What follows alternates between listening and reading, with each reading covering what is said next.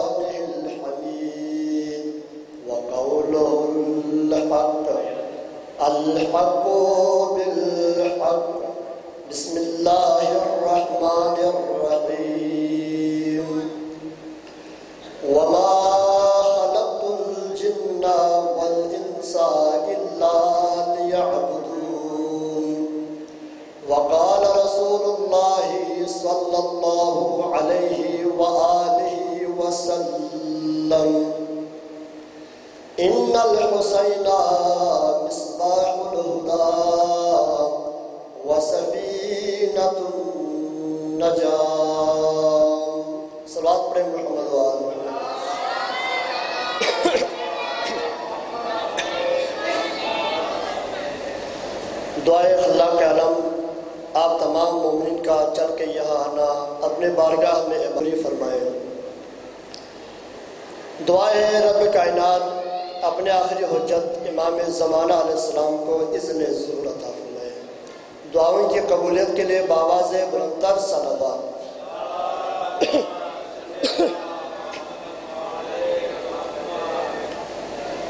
میرے عزیزوں، بزرگوں، بارہا آپ کی خدمت میں بیان کرنے کی کوشش کی۔ کہ میں ایک طالب علم ہوں۔ طالب علم ہونے کے ناطے سے آپ کی خدمت میں بیان کر رہا ہوں کہ اس خالق کا لاکھ لاکھ شکر ہے، اس مالک پروردگار کا لاکھ لاکھ شکر ہے، جس نے اس ختم ہونے والی دنیا، اس فانی دنیا میں باعزت، باوقار، سربلند، سرفراز زندگی گزارنے کے لیے آپ اور مجھے وہ رہبر عطا فرمائے وہ رہبر معصوم رہبر عطا فرمائے یہ احسان کریم ہے اس خالق کا۔ اور اس خالق کا یہ احسان کریم ہے، اس نے آپ اور مجھے مسلمان کے گھر میں پیدا کیے۔ بہت سارے مخلوقات اللہ کی ہیں۔ ممکن تھے اللہ ہمیں کچھ اور بنا لیتے، لیکن یہ اس خالق کا احسان کریم ہے۔ جس نے ہمیں منتخب کیا مسلمان کے گھر میں پیدا ہونا۔ اور اس ذات کا اس سے بھی بڑا کرم یہ ہے کہ اس ذات نے ہمیں وہ گود عطا فرمائے، اس کی گود عطا فرمائے جو شریف ماں ہے۔ اسی لیے معصوم بارہا کہا، اے ہمارے ماننے والے، جب ہمارے ذکر سن کے تم خوش ہو جاؤ، تمہارے چہرے کھل جاؤ، تو اللہ کا شکر ادا کرو۔ اور گھر جا کے اپنی ماں کا بھی شکریہ ادا کرو۔ احسان کریم اس خالق کا، جس نے جو جو ہمیں عطا کیے ہیں، ہر اللہ کی عطا پر لاکھ لاکھ شکر کریں، پھر بھی کم ہے۔ کیوں اس لیے؟ اب وہ رہبر اللہ نے ہمیں عطا کیے۔ جو اللہ نے خود چنے ہوئے رہبر ہیں۔ چنے ہوئے رہبر کو ہمارا رہبر کیوں بنایا؟ اس لیے بنایا، اے میرے بندے، اگر تم مجھ تک مجھ تک پہنچنا چاہیے ایسے تم مجھ تک نہیں پہنچ سکتے۔ بلکہ جو تمہیں رہبر عطا کیے ہیں، اس رہبر کی پیروی کرو تاکہ تم مجھ تک پہنچ سکو۔ بہت بڑے مفسر ہیں۔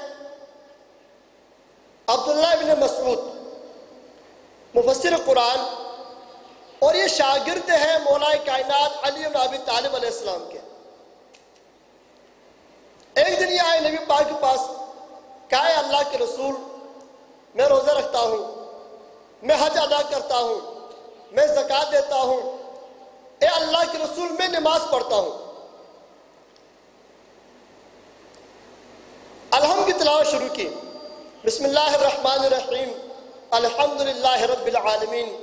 الرحمن الرحیم، مالک یوم الدین ایاک نعبد و ایاک نستعین۔ اہدنا الصراط المستقیم۔ جب عبداللہ بن مسعود پہنچے ایاک نعبد و ایاک نستعین پہ۔ کہا، اے اللہ کے رسول، یہاں تک تو ہے۔ اللہ کی تعریفیں۔ اہدنا الصراط المستقیم۔ ہمیں سیدھی راستے پہ قائم رکھیں۔ یہ بتائیں اللہ کے نبی، یہ سیدھا راستہ کون سا ہے؟ دو دفعہ تکرار کیے، مسجد نبوی موجود ہیں جب دوسری دفعہ تکرار کیے، اللہ کے نبی نے اہل بیت کے گھر کی طرف دیکھ رہے تھے، دروازے کی طرف۔ اتنے مولا کائنہ نے دروازہ کھولا، مسجد کے اندر قدم رکھے۔ عبداللہ ابن مسعود نے نبی پاک کو دیکھا، مولا علی کو دیکھا۔ اور کہا، یا رسول اللہ بتائے تو صحیح، یہ سیدھا راستہ کون سا ہے؟ تو میرے مولا نے فرمایا، عبداللہ ابن مسعود عجیب بات کرتے ہو سراط المستقیم کو دیکھ بھی رہی ہو اور کہہ بھی رہے ہو کہاں ہے؟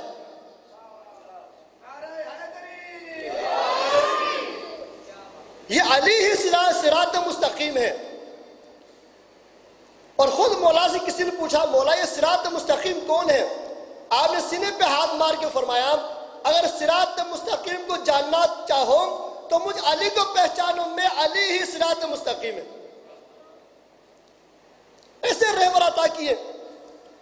پوری کائنات میں پھٹی سی پھٹی کتاب اور پوری کتاب میں پرانی سی پرانی کتاب اٹھا کے دیکھیں جو رہبر اللہ نے ہمیں عطا کیے ہیں۔ لوگ آ آ کے ان رہبروں سے پوچھتے ہیں کہ اس مسئلے کا جواب کیا ہے۔ لیکن جو رہبر ہمیں عطا کیے ہیں، یہ کسی کے در پہ جا کے پوچھا نہیں کہ اس اس مسئلے کا علم ہمیں بتائیں۔ روایت میں کہ آپ میرے چھٹے تاجدار، امام جعفر صادق علیہ السلام۔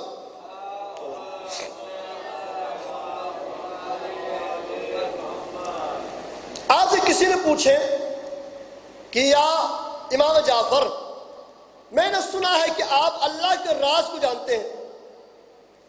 تو آپ فرمایا کہ تو نے سنا ہے، یہ حقیقت ہے۔ ہم اہل بیت علیہ السلام اللہ کے رازوں کے امین ہیں۔ اب ہم دل ہمیں کسی کے راز کا پتہ چلے، ہم اس کا جنا حرام کرا دیتے ہیں۔ تو اس نے ہاتھ جوڑ کے کہا کہا کہ مولا پھر ایک گزارش ہے۔ گزارش یہ ہے کہ آپ مجھے ایک راز کو بتائیں۔ تاکہ ایک راز بتائیں۔ تو مولا نے فرمایا، یاد رکھو، اللہ نے ہم اہل بیت، ہم چودہ معصومین کو رہبر بنا کے بھیجے۔ اب ہم ہیں اللہ کے راز کے امین۔ ہم سے بڑھ کر کوئی راز کے امین نہیں ہے۔ لہذا اللہ کے راز کو تم سنبھال نہیں سکتے۔ ہاں میں جعفر صادق دنیا کے ایک راز بتاتا ہوں۔ اب اور میرے امام ایک راز دنیا کے بتا دیے۔ خوش ہو گیا، گھر چلا گیا۔ پوری رات سو نہ سکے۔ جب صبح نمودار ہو گئی، امام کے پاس آ گئے۔ کہا کہ مولا، میرا سینہ پھٹ رہا ہے۔ جو آپ نے دنیا کے راز بتائے، وہ راز میں سینے پہ رکھ نہیں سکتا۔ اگر اجازت ہو تو میں دنیا والوں کو بتا دوں۔ امام نے فرمایا، تو کہہ رہا تھا کہ اللہ کے راز بتائیں۔ میں نے اللہ کے راز نہیں بتایا۔ میں نے تو دنیا کے راز بتایا۔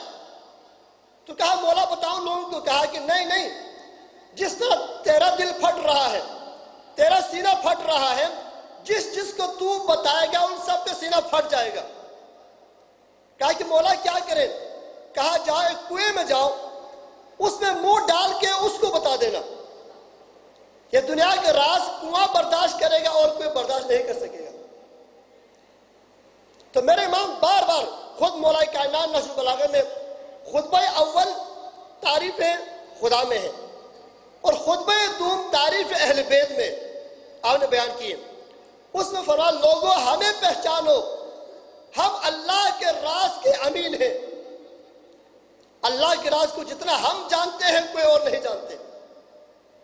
ہم اللہ کے راز کے امین ہیں۔ اور ایک علم، ایسا علم ہے وہ بھی اللہ نے آل محمد کو عطا کیے۔ وہ سخت علم ہے، یہ علم کوئی جان نہیں سکتے۔ اس میں جب سے دنیا بنی ہے، قیامت تک کے حالات، کل کیا ہونا، پرسوں کیا ہونا، قیامت کے دن کیا ہونا، یہ سارے علوم اس کے اندر لکھے، اس کے اندر موجود ہیں۔ اب کئی علم دیے۔ ایک علم ہے اللہ سے کلام کرنے کے۔ ایک علم ہے ہم سے بات کرنے کے لیے۔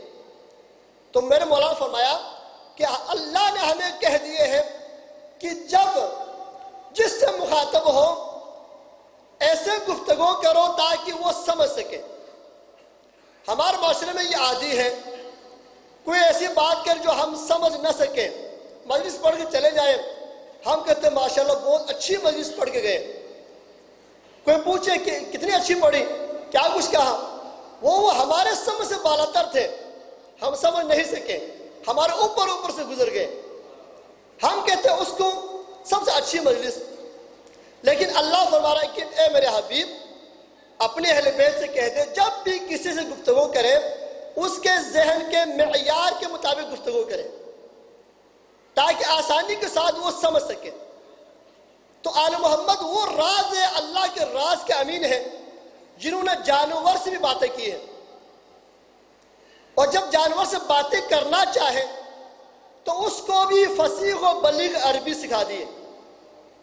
روایت میں ہے کہ آپ اور میرے مولا مولا کائنات، آپ کے بہت سارے دشمن تھے، منافق تھے۔ اسی لیے پورا سورہ اللہ نے نازل کیا، سورہ منافقون۔ تو نماز بھی پڑھتے تھے مسجد میں اور دل میں کدورتیں بھی رکھتے تھے۔ ایک دن صبح ہو گئی۔ جماعت کی نماز ادا کی گئی۔ ایک صحابی آئے۔ جب دور سے دیکھا، سب نے کہا یاس اللہ، یہ بھی تو آپ کے صحابی دیکھ لیں، آج صبح کی جماعت میں شریک نہیں ہوئے۔ تو اللہ کے نبی نے بلایا، کہا کہ کیا بات ہے؟ کہا، یا رسول اللہ، دیکھیں میرے پاؤں۔ فلان یہودی کے کتے نے مجھے پکڑ لیا وہاں پر، اور مجھ میرے پورا جوتا خون سے بھر گیا ہے۔ کہا کہ اچھا ٹھیک ہے، نماز پڑھ لو۔ اب اس نے نماز ادا کی۔ اگلے دن ایک اور صحابی آئے۔ اس کے بھی یہی حالت ہے۔ اس سے بھی اگلے دن ایک اور صحابی اسی ٹائم پہنچے۔ اس کے بھی یہی حالت ہے۔ اب ایک صحابی کھڑے ہوئے کہا، یا رسول اللہ، اس یہودی کے کتے نے تین اصحاب کو کاٹے ہیں۔ اب جو تین پہ حملہ کرے تین لوگوں پہ حملہ کرے، اس کو تو چاہے کہ اس کتے کو مار ڈالا جائے۔ یا رسول اللہ، بسم اللہ کرے آپ ہمارے ساتھ چلیں۔ ہم اس کتے کو مار کے آ جاتے ہیں۔ اللہ کے پانی فرمائے، میرے صحابہ کرام، اٹھو، چلے۔ اس یہودی کے کتے کو آج ہم نے قتل کر کے آنا ہے۔ آپ دیکھیں، وہ یہودی ہے۔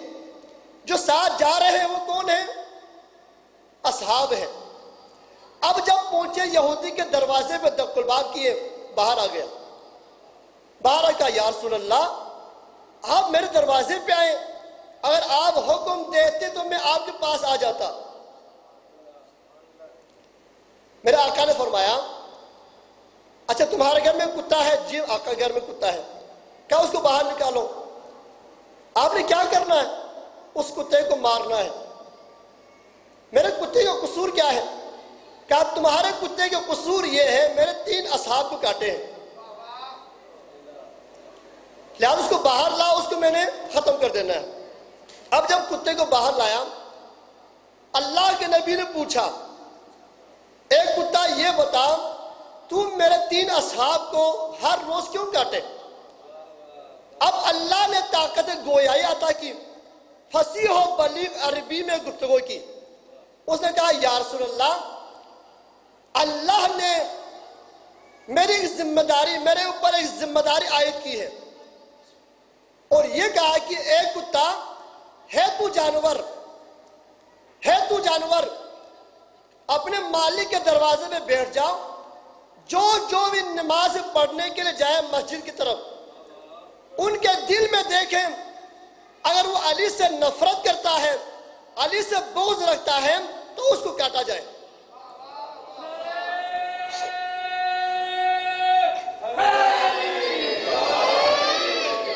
رسول اللہ اگر یہ دل میں علی سے قدرہ نہ رکھتے تو میں نہیں کاٹتا۔ آپ خود پوچھیں ان سے۔ تو نہیں بال پوچھا ہاں بتاؤ۔ کتا صحیح کہہ رہا ہے یا تم صحیح کہہ رہے ہو؟ کہا کہ میرے آقا جہاں سے گزرتے وقت ہم نے یہ سوچا کہ علی بھی پیچھے نماز پڑھنے والے ہیں اور ہم بھی پڑھنے والے ہیں۔ تو بار بار کیوں کہتے علی میرا وزیر بھی ہے؟ علی میرا وسیع بھی ہے؟ علی میرا جانشین بھی ہے؟ بس ہم یہی سوچ رہے تھے۔ اب اسے سبق سکھایا کسی کتے نے۔ تو اس کتے نے بتایا، اے انسان اللہ نے تمہیں اشرف المخلوقات بنایا۔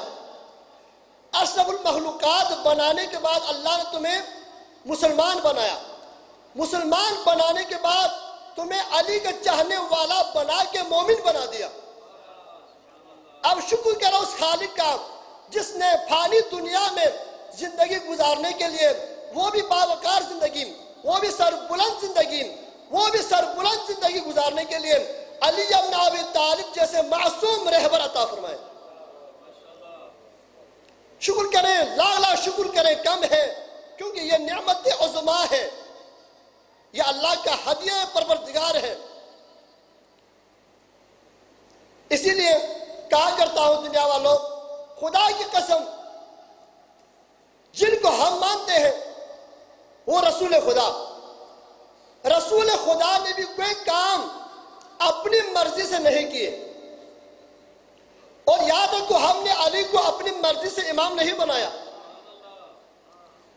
اور نہ رسول خدا نے اپنی مرضی سے امام بنایا ہے۔ کیوں اس لیے کہ امام بنایا، علی کو اللہ نے ہاتھوں میں بلند کر کے دکھایا، محمد مصطفیٰ نے۔ جب غدر خم، آپ سب جانتے ہیں، میرے آقا نے، اب کئی نوجوان غصے میں آ جاتے ہیں، کئی نوجوان غصے میں آ جاتے ہیں کہ بات یاد سنو، جیسے نبی نے کہا ہے وہ سنے۔ میرے آقا نے یہ نہیں فرمایا، لوگوں سنو، جو جو انسان ہے، اس کا مولا علی ہے۔ نہیں کہا۔ یعنی جو جو انسان ہے، اس کا مولا علی ہے۔ نہیں کہا۔ کیونکہ میرا آقا جانتے ہیں، کچھ لوگ ایسے بھی ہیں جو شکل میں انسان ہیں، حقیقت میں حیوان سے بھی بدتر ہے وہ اس لیے میں کہہ رہا ہوں کہ حج کے دوران حج کر رہے تھے۔ ایک صحابی نے پوچھا چھٹے امام سے، کہا کہ مولا سبحان اللہ، اس بار کتنے حاجی آئے ہیں؟ تو میرا مولا نے فرمایا، یہ نہ کہو۔ کہا کہ مولا، یہ سارے حاجی ہیں۔ کہا، ان میں حاجی تھوڑے ہیں۔ تھوڑے حاجی ہیں۔ کہا کہ مولا، میری مشکل حل کر دیں آپ اور میرے مولا دست مبارک آنکھوں میں پھیرا۔ تو کیا دے گا کوئی بندر ہے؟ کوئی کتے کی شکل میں ہے؟ کوئی بندر کی شکل میں ہے؟ کوئی کھوتے کی شکل میں ہے؟ جو اصل میں حقیقت میں انسان کی شکل میں چند لوگ ہیں۔ کہا کہ مولا، یہ کیا راز ہے؟ دیکھنے میں تو انسان نظر آتے ہیں۔ تو مولا نے فرمایا، یاد رکھو، یہ لوگ وہ لوگ ہیں جن کے دل میں علی سے نفرت ہے اور یہاں پہ حج کرنے آئے ہیں۔ تو جس کے دل میں علی سے بغض ہو، یاد رکھو وہ دیکھنے میں انسان لگتا ہے، حقیقت میں وہ حیوان سے بدتر ہے۔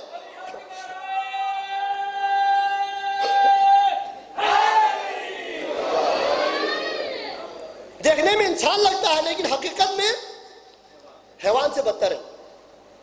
تو میں نے یہ جملہ کہا کہ میرے آقا نے غدیر کے ممبر پہ بلند ہو کے یہ نہیں فرمایا۔ لوگوں، جو جو انسان ہے، اس کا امام علی ابن ابی طالب ہے۔ نہیں کہا۔ بلکہ فرمایا، جو انسان حقیقت میں انسان ہے، ظاہراً بھی انسان ہے، باطناً بھی انسان ہے، وہ مجھے رسول کو مولا جانتے ہیں۔ پھر آپ نے فرمایا، جو مجھے مولا جانتے ہیں، یاد رکھو، جو مجھے مولا مانتے ہیں۔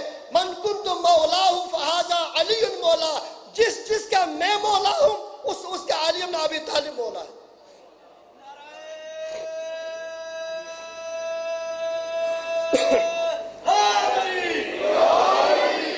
لہذا ہم نے کسی کو امام مانا ہے، اپنے مرضی سے نہیں مانے۔ ہماری مجبوری ہے، اللہ نے اپنے حبیب سے کہہ دیا، اے میرے حبیب، یا ایوہ الرسول، بلغ ما انزل الیک من ربک۔ اس آیت پہ آپ غور کریں۔ حج کر کے آئے اصحاب بڑا مجمع اصحاب کا۔ اب آیت نازل ہو گئی۔ یا ایوہ الرسول، اے میرے خاص رسول، اے میرے حبیب، یا ایوہ الرسول، بلغ پہنچا دے۔ ما انزل الیکا وہ جو میں نے پہنچا دیے ہیں تم تک۔ فَإِن لَمْ تَفْعَلْ فَمَا بَلَّغْتَ رِسَالَتَا اگر تو نے نہ پہنچایا تو سمجھو کہ تو نے رسالت کو کوئی کام انجام نہیں دیا۔ اب حقیقت میں دبکہ دیا ہے اللہ کے رسول کو۔ فارسی میں ایک کہاوت ہے، در کو بتا کے دیوار کو سنانا۔ در کو بتا کے دیوار کو سنانا۔ یہی کہاوت یہاں پر۔ اللہ نے کہا محمد مصطفیٰ سے سنایا ہم سے۔ کہا محمد مصطفیٰ سے سنایا ہم سے۔ اے لوگوں یاد رکھو قیامت تک آنے والے۔ حج کرو زکاة دو، جو مرضی کرو، جہاد کرو، عبادت الہی بجا لاؤ، صدقات دو، خیرات کرو۔ یاد رکھو، اگر علی کو مولا نہ مانا، تو سمجھو کہ تو نے کچھ بھی نہیں کیا۔ علی کو ماننا ضروری۔ پھر آگے ارشاد فرمایا، آیت کا اگلا حصہ۔ واللہ یعصمک من الناس۔ اے میرے حبیب، اس مجمع میں کچھ لوگ ہیں، ان سے نہیں ڈرنا۔ واللہ یعصمک من الناس، اللہ تمہیں لوگوں کے شر سے بچائے گا۔ یعنی اس خوف میں نہیں رہنا، آپ اعلان کریں۔ اب میرے مولانا اعلان کیے۔ میں کہا کرتا ہوں، اے میرا آقا، آپ تو تمام نبیوں کے سردار نبی ہیں۔ تمام نبیوں کا امام نبی ہے اے میرا آقا، جس کو آپ نے وزیر بنایا، جس کو آپ نے بائی بنایا، جس کو آپ نے اپنے خلیفہ چن لیا، اے میرا آقا وہ بھی تو کم نہیں ہے۔ سلیمان پیغمبر، آپ آپ اس سے افضل ہیں۔ آپ کا وسیع سلیمان پیغمبر کے صحابی بائی جانشین، آصف بن برخیہ سے بھی افضل ہے لیکن میرے مولا، ہاتھ جوڑ کہتا ہوں، آصف بن برخیہ نے آم جب پکنے سے پہلے تخت بلقس کو حاضر کر دیے۔ میرا اگر گزارش یہ ہے کہ آپ اپنے بائی سے کہہ دیں، جو فخر آصف بن برخیہ ہے، کہہ دیں، اے علی، اٹھو، میں نے حاجو سے خطاب کرنا ہے۔ جو ممبر مدینے میں تیار ہے، اس ممبر کو آنگ جب پکنے سے پہلے پہنچا دے۔ جو ممبر مکے کے اندر تیار شدہ ہے، اس ممبر کو لاؤ تاکہ میں اس ممبر پہ سعود ہو کے اپنے اصحاب سے خطاب کروں۔ بیجا نہیں میرا آقا، یہ کہہ دے۔ یاد رکھو، میں نے غدیر میں ممبر بنوایا بھی، اعلان کے بعد ممبر توڑوایا بھی۔ اس سے سمجھو کہ میں نے مکے سے مدینے سے ممبر کیوں منگوایا نہیں۔ اس لیے میں محمد مصطفیٰ یہ برداشت کرتا ہوں۔ مدینے کے ممبر اور مکے میں جو ممبر ہے، اس کے اوپر جو بھی آئے مجھے منظور ہے۔ لیکن یاد رکھو، جو قدیم میں ممبر تیار کیا ہے، اردو کے پلانوں کا، یہ ممبر صرف ممبر نہیں ہے، بلکہ یہ ولایت ممبر ہے، یہ ولایت کے ممبر ہے۔ اس ممبر پر یا میں آ سکتا ہوں یا میرے بھائی علی مرتضی آ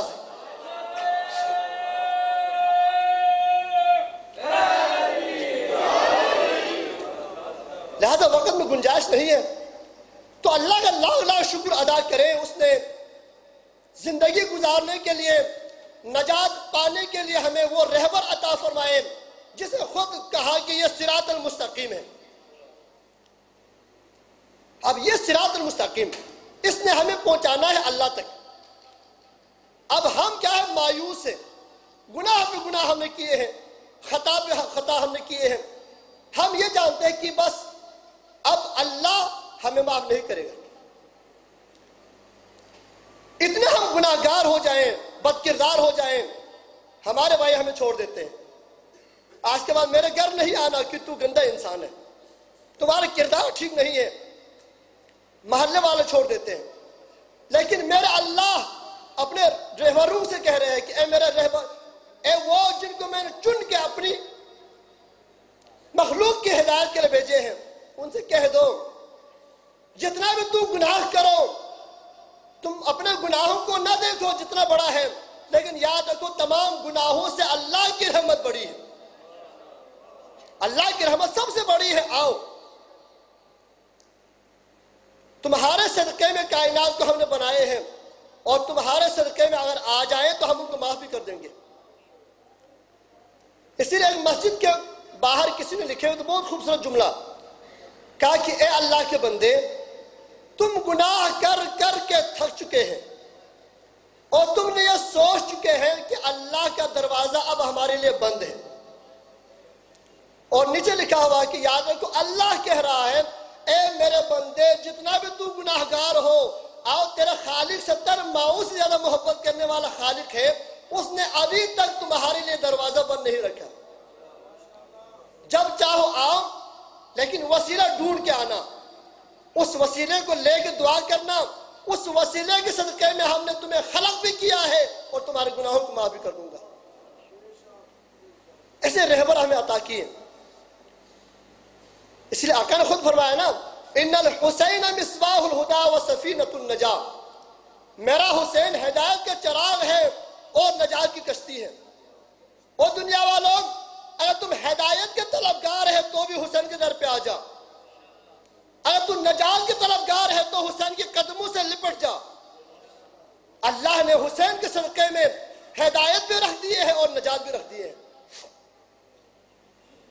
اور کسی نے اللہ کے بارگاہ میں گناہوں کو بیان کر کے اللہ کے بارگاہ میں سجدہ ریس ہو کے توبہ کرنی ہو، تو وقت ہے حسین بن علی کے وسیلے آ جائے۔ حسین بن علی کربلا میں آج ہمیں بتا دیے جتنے بھی گناہ گار ہو، بار بار میرے مولا نے آپ نے خطاب کیے اور ہر خطاب میں یہ بار بار فرمایا کہ لوگوں، مجھے پہچانو میں فرزند زہرا ہوں۔ مجھے پہچانو میں فرزند رسول ہوں۔ مجھے پہچان کے اب بھی آ جاؤں۔ بہت سارے لوگ ایسے تھے جو عمر سعد کے ساتھ آئے تھے، لیکن جب پہچان لیا کہ یہ سامنے حسین ہے تو چھوڑ کے مولا حسین کے بارگاہ میں آ گئے۔ تو مولا ہمیں بتا رہے کہ اللہ کے دروازہ ہر وقت کھلا ہے، جب بھی چاہے۔ یہ جو آج کی رات ہے، اسے شب آشور کہا جاتا ہے، یہ رات کو۔ اس رات کو مولا نے باقاعدہ محلت مانگ کے لائے ہیں۔ اور فرمایا، جب محلت ملی تو کہا کہ اس رات کو میں تین حصے میں تقسیم کرتا ہوں۔ ایک اپنے عزیز و اقارب کے لیے اور ایک اپنے اصحاب کے لیے اور ایک اللہ سے محو گفتگو کے لیے۔ میرا اقار اصحاب سے گفتگو کیے، چراغ گل کیے اور کہا کہ میں حسین تمہاری نجات کے ضامن ہے، جس نے جانا ہے چلے جاؤ۔ چراغ گل کرنے کے بعد جب روشن کیے، وہی اصحاب اسی جگہ پر ہے ان میں زہر نقن سب سے پہلے کھڑے ہوئے اور کہا، اے مولا، اللہ ہمیں ہزار جان بھی دے۔ ہم ہزار جان قربان کریں گے، لیکن مولا آپ کو چھوڑ کے نہیں جائیں گے۔ اس وقت میرے مولا نے فرمایا، یا اللہ، تیرا اللہ اللہ شکر ہے۔ تو نے حسین کو وہ اصحاب عطا کیے، جو اصحاب نہ میرے نانا رسول کو نصیب ہوئے، نہ میرے بابا علی مرتضی کو نصیب ہوئے۔ مولا نے فخر کیے ایسے اصحاب پر۔ حضرت کربلا میں جس شہید کو اجازت ملتی تھی وہ شہید اجازت کے بعد فوراً نکل جاتے تھے۔ ٹائم نہیں لگتے تھے۔ لیکن مقتل کی کتابوں میں لکھا ہے، ان میں دو شہید ایسے ہیں جب مقتل سے نکلے کافی دیر لگے۔ بہت دیر لگے مقتل کی طرف جاتے وقت۔ خیمے سے نکلتے میں بہت دیر لگے۔ ایک کون تھے، ایک امام حسین ابن علی۔ جب امام خیمے سے نکلے، اس وقت بہت دیر لگے۔ کبھی کسی نے کہا ہم سے مل کے جائیں، کبھی کسی نے کہا ہم سے مل کے جائیں۔ اور دوسری ہستی جناب علی اکبر۔ آج جناب علی اکبر علیہ السلام سے مخصوص ہے۔ مسائب آپ کو پورا مسائب علامہ صاحب سنائیں گے۔ صرف چند جملے جناب علی اکبر کے حوالے سے۔ علی اکبر علیہ السلام کو اجازت ملتی ہے۔ جب اجازت ملے، علی اکبر علیہ السلام گھوڑے پہ سوار ہوئے۔ کئی دفعہ علی اکبر علیہ السلام کو بلائے گئے۔ مقتل میں لکھا ہے کہ ایک دفعہ جب اکبر جا رہے تھے، کسی نے اکبر کے دامن کو تھاما۔ مقتل وہاں لکھتے ہیں کہ یہ جوان بیوی نہیں تھی، بلکہ چار سالہ سکینہ۔ حسین کے سینے پہ سونے والی سکینہ اپنے بائی کے دامن تھام کے کہہ رہی کہ اے میرے بھیا، اے علی اکبر، بتاؤ سکینہ کو چھوڑ کے جا رہے ہو۔ مشکل سے جن عزاداروں علی اکبر علیہ السلام کو اجازت ملتی ہے، بہت مشکل سے۔ کچھ آگے بڑھے، پھر آواز آئی۔ جناب فضل نے فرمایا کہ علی اکبر، واپس آ جانا۔ ایک لمحے کے لیے آ جانا۔ عزاداروں جب علی اکبر نے فرمایا، اے اماں، کئی بار آ چکا ہوں۔ اب مجھے جانے تو دیں۔ بہت مشکل سے اکبر کو مرنے کی اجازت ملی ہے۔ تو کہنے لگی، جناب فضا اے علی اکبر، پیچھے مڑ کے تو دیکھو۔ اچھا ازاداروں جب علی اکبر نے پیچھے مڑ کے دیکھا تو کیا دیکھا؟ چوبیس سالہ بوڑھا بھائی، سعید الساجدین، امام سجاد علیہ السلام تھے۔ ایک ہاتھ اصاب پہ رکھے ہوئے تھے اور ایک ہاتھ متھے پہ رکھے ہوئے تھے۔ اور کہہ رہے تھے کہ علی اکبر، پہلے مل کے جاتے غریب بھائی سے، پہلے مل کے جاتے بیمار بھائی سے۔ جب یہ باتیں کی عزاداروں علی اکبر علیہ السلام دوڑ کے آئے، گھوڑے سے اترے، دوڑ کے آ کے اپنے بھائی کے سینے لگے۔ دونوں بھائی بغل گیر ہو کے فریاد کر رہے تھے۔ فریاد کرتے کرتے آزاداروں ایک لمحہ ایسا آیا، جناب علی اکبر کے ہاتھ چھوٹ گئے۔ اب مقتل والے لکھتے ہیں، کیوں چھوٹ گئے اکبر کے ہاتھ؟ تو کہتے ہیں کہ امام بیمار کربلا، امام سجاد نے علی اکبر کے کان میں کچھ کہا۔ جب کان میں کچھ کہا، اکبر کے ہاتھ چھوٹ گئے۔ لکھتے ہیں، کیا کہا کان میں؟ کان یہ کہا، اکبر تو جوان ہے، اٹھارہ سال کڑیل جوان ہے۔ اکبر میں بوڑھا ہوں، میں چوبیس سال کا ہوں۔ اکبر، آپ کر مقتل میں نہ جائیں، مجھے اجازت دے میں مقتل میں جاؤں گا اور میں شہید ہو جاؤں گا۔ جب یہ کہنا تھا جناب علی اکبر نے ہاتھ جوڑ کے کہا، اے بھیا ٹھیک میں اٹھارہ سال کے کڑیل جوان ہوں۔ کہا کہ تبادلہ کرے۔ مولا سجاد محمد تبادلہ